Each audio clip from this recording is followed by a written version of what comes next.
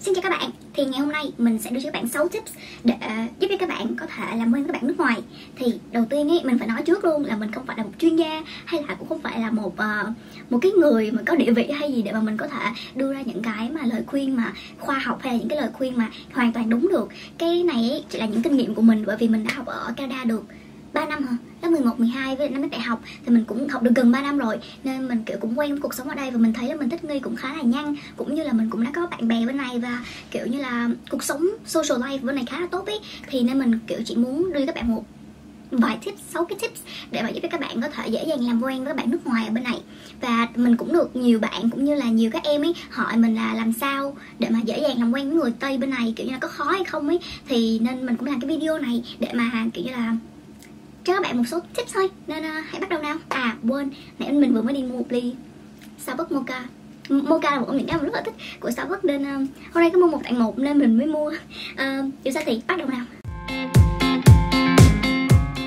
Tip số 1 tip số 1 là cái mà kiểu như là uh, cái căn bản nhất đó chính là self value tức là self value tức là giá trị của chính bản thân mình trước.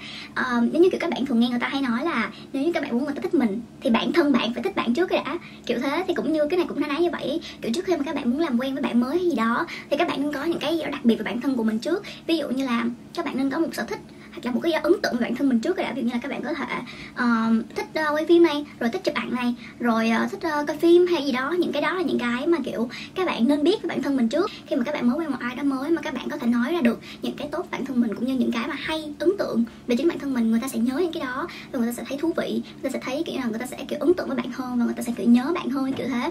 Thì đó là một cái tip của mình. Thường ấy mà người ta hỏi mình ấy thì mình chỉ nói là um, những cái ấn tượng mà mình nhớ là mình hay nói là mình đến mình đến từ Việt Nam. Nên là đến từ Việt Nam. Đó chỉ cần các bạn có những cái điều gì đó đặc biệt của bản thân mình các bạn kiểu là nhớ các bạn kiểu là không phải nhớ mà như các bạn biết trước ấy thì khi mà người ta hỏi các bạn trả lời được thì các bạn có thể bắt đầu kiểu là phóng cái uh, cuộc trò chuyện ra xa. Đó là tip một. Tip số 2 tip số 2 chính là content cuộc nói chuyện. Content cuộc nói chuyện tức là uh, cái nội dung cuộc nói chuyện. Thì như mình nói là kiểu khi mà các bạn có bạn đi với bạn thân ấy mà đi uống cà phê hay đi gì đó thì thực ra là hai đứa thân với nhau quá rồi chừng ngồi im. Lướt điện thoại thôi cũng được rồi. Nhưng mà khi các bạn muốn làm quen với người mới ấy, thì các bạn bắt buộc phải có content cuộc nói chuyện. Content là như kiểu uh, những cái mà các bạn có thể nói chuyện về thì các bạn có thể uh, nói chuyện về những cái đang xảy ra xung quanh các bạn. Ví dụ như là uh, một cái câu chuyện gì đó đang xảy ra ở trong trường các bạn nhưng mà có những content khác có thể là youtube chẳng hạn. Có một đợt trên youtube ấy mà ví dụ như là Jeffree Star với lại uh, gì James Charles rồi Katy Tati Tati nè rồi Tati nọ này kia kiểu cãi lộn nhau ấy ở trên uh, YouTube ấy. Thì cái đó là một cái đợt drama rất là lớn mà YouTube ấy thuộc tụi bên này rất là hay coi YouTube nhất là những cái beauty uh, beauty vlogger rồi những cái um, ừ, kiểu beauty vlogger này kia con gái hay coi nhiều ấy thì có một lần cái đợt đó drama đó thì kiểu mà bạn chỉ cần quay ra cái người mà bạn kiểu đang đang muốn làm quen ấy cái sau khi các bạn nói chuyện xong nha nói chuyện về bản thân rồi kiểu chia sẻ này kia xong các bạn có thể hỏi nó coi nó có youtube hay không. Nó nói kêu là có thì các bạn có thể hỏi coi nó có biết James Shaw rồi kiểu Jeffree Star là ai hay không. Tụi nó ngay lập tức ấy một ấy chỉ có hai phản ứng thôi. Một ấy là tụi nó không biết thì sẽ không biết thôi nó không biết ấy, thì các bạn có thể kể cho nó nghe coi những người đó là ai và chuyện gì đang xảy ra. Tụi nó sẽ rất là hứng thú để mà biết những cái thứ mà tụi nó chưa biết. Còn nếu mà tụi nó biết á là ngay lập tức tụi nó sẽ kiểu là ờ Ừ, tụi tao biết nè. Oh my god tao cũng biết nè. Ờ, cái mẹ nói cái bộ drama đúng không? Tụi nó sẵn ngay tức nói cái bộ đó ngay. Thì các bạn có thể ở đó chia sẻ xong tấn công tới luôn. Thì đó những cái như kiểu trên youtube rồi uh, phim ảnh này kia rồi culture kiểu văn hóa bên này như là uh, văn hóa như kiểu như là văn hóa gì nhỉ? Uh, quần áo hay là uh, quần áo rồi âm nhạc. Những cái đương nhiên là khi mà các bạn nói về bản thân ấy, như kiểu nói về văn hóa của Việt Nam hay gì đó, thì đó chỉ là những cái ấn tượng mà các bạn đang kể cho tụi nó nghe, để tụi nó biết thôi. Kiểu như các bạn đang chia sẻ về bản thân các bạn thôi, nhưng mà muốn mà kiểu như là muốn mà kiểu thành bạn lâu dài á, thì các bạn phải nói được những cái chuyện mà cả hai đứa có điểm chung, chứ không thể nào mà cứ một mình các bạn tự ngồi tự kể về bản thân Việt Nam, truyền thống Việt Nam, rồi kiểu dân tộc Việt Nam được, hiểu không? Khi mà các bạn càng tìm được nhiều những cái nội dung mà trên trời, dưới đất á, như kiểu những cái mà môi trường, rồi ngôi sao này, ngôi sao nọ, rồi chuyện này chuyện nọ các bạn càng hiểu hơn về cái đứa đó, và đứa đó cũng hiểu hơn về bạn. Kiểu các bạn càng tìm được những cái điểm chung với nhau ấy. Kiểu cái quan trọng của một tình bạn là các bạn phải tìm được cái nền tảng chung ấy. Mà để tìm được cái nền tảng chung đó, thì các bạn phải nói chuyện về những cái topic những cái đề tài khác nhau. Ba ba là speaking skill. Um, thì speaking skill là một cái mang đi về hướng technical hơn tức là một cái hướng kỹ thuật hơn ấy. Thì um, speaking skill thì cái này thì chỉ là do bản thân của bạn học thôi.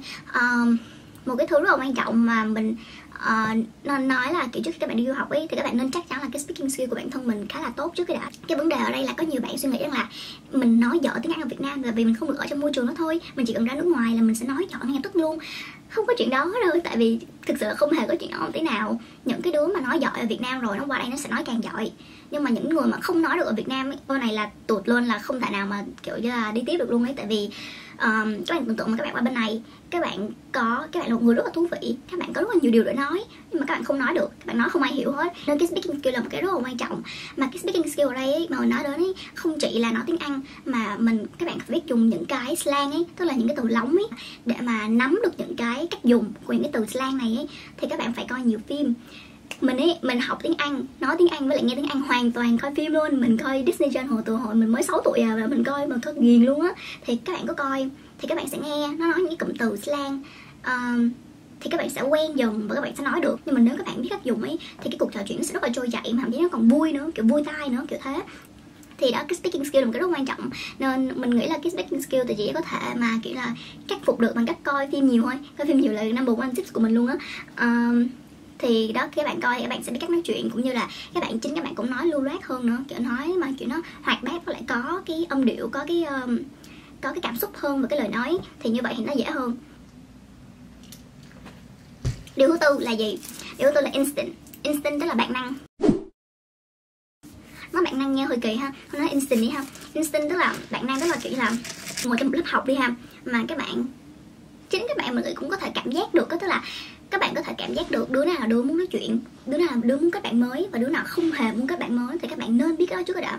Tức là các bạn phải biết là ok con này có vẻ như nó muốn kết bạn mới các bạn nên tiếp xúc với nó tiếp cận nó nói chuyện với nó thì như vậy thì nó sẽ rất là dễ các bạn. Chứ còn đôi lúc mà các bạn không để ý mà các bạn cứ xông vô không phải cứ ai mà các bạn nói chuyện cũng được hết.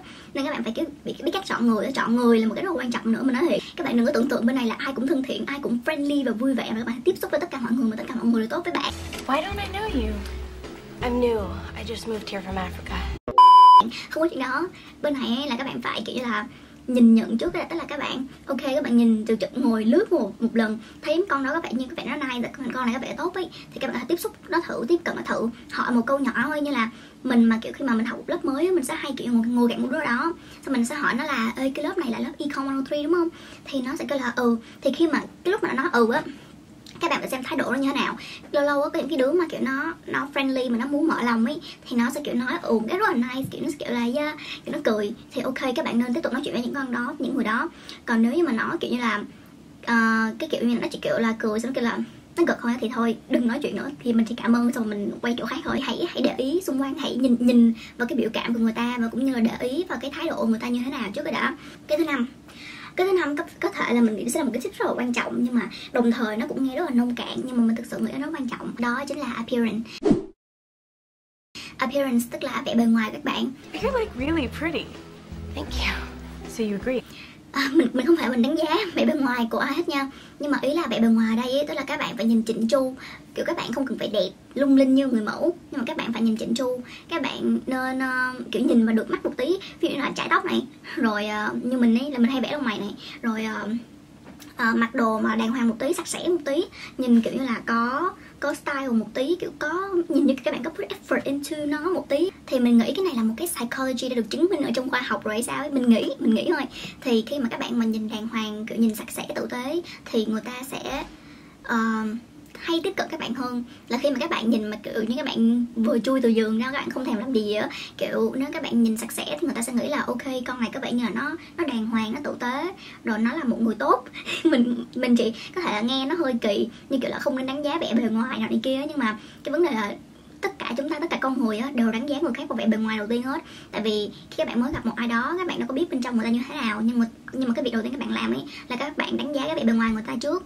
Nếu các bạn thấy người ta mà ăn mặc đàng hoàng tử tế là các bạn sẽ thấy ấn tượng ngập tức đúng không? Thì các bạn sẽ khi mà các bạn thấy ấn tượng á thì các bạn sẽ có cái um, có cái ý muốn muốn nói chuyện muốn làm quen hơn. Sáu cái thứ sáu á, đó chính là cái body language body language ấy là tức là cái uh, ngôn ngữ cơ thể ngôn ngữ cơ thể đúng rồi á. Uh, ngôn ngữ cơ thể thì nó nó thiên về cái hướng psychology tức là tâm lý học nhiều hơn. Mà mình thì mình không phải là nhà tâm lý học hay gì hết nên mình cũng không biết nhiều về uh, ba cái psychology này cho lắm. Nhưng mà mình biết ý một cái là khi mà các bạn uh, nếu mà các bạn kiểu như là đứng một chỗ mà các bạn như thế này này kiểu các bạn ôm ôm người như thế này mà sao các bạn kiểu như là cầm điện thoại như thế này xong các bạn kiểu có nhìn xuống như thế này thì kiểu người ta ấy sẽ auto nghĩ là các bạn không muốn kết bạn. Người ta sẽ nghĩ là các bạn kiểu như là hoàn toàn không có thích làm bạn ấy. Thì người ta người ta sẽ kiểu không có tiếp xúc các bạn người ta sẽ không thích ấy. Người ta sẽ sợ kiểu người ta cũng sẽ ngại nữa. Còn nếu các bạn kiểu các bạn đang thả người ra một tí kiểu kiểu mở cái người ra ấy, thì các bạn đang open với người ta hơn các bạn kiểu là đang uh, đang mở lòng với người ta hơn. Thì các bạn có thể cầm điện thoại như thế này này kiểu như là để một bên ấy các bạn có thể lướt thế này thì các bạn đang rất là mở người hơn ấy. Thì người ta sẽ cảm giác là người ta có thể tiếp xúc với các bạn hơn là các bạn đóng người hoàn toàn lại. Kiểu mình nghĩ cái chỉ là một cái tâm lý học thôi. Bản thân của mình ấy mình ra được mà nó không bao giờ nhìn người ta xong mình nghĩ là ô con này đang mở tay nè con này thích mở lòng. Còn con kia đóng tay con kia chắc kia nó đang đóng lòng của nó lại. Đóng lòng. Thực ra thì về thực tế thì mình nghĩ là không có ai mà đi nghĩ như vậy hết. Nhưng mà mình nghĩ đó là một cái uh, psychology tức là một cái tâm lý mà kiểu như là à, kiểu mình kiểu nó tự nó tự động vậy thôi á chứ mình cũng không có điều khiển nó hay gì hết. Ok và mình biết là mình nói là mình có 6 tips nhưng mà mình sẽ đưa ra một cái cuối cùng.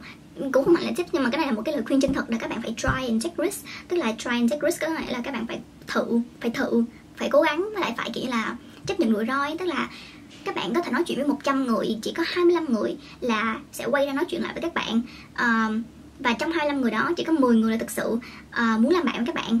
Và chỉ có 5 người còn lại là chắc sẽ thành bạn với bạn. Thì đó kiểu như là các bạn phải nghĩ rằng là uh, một con nào đó nó đi nói chuyện với 100 người thì cuối cùng nó sẽ có được 5 bạn. Còn bạn không thể nói chuyện với ai hết thì các bạn sẽ mãi mãi có không bạn kiểu vậy.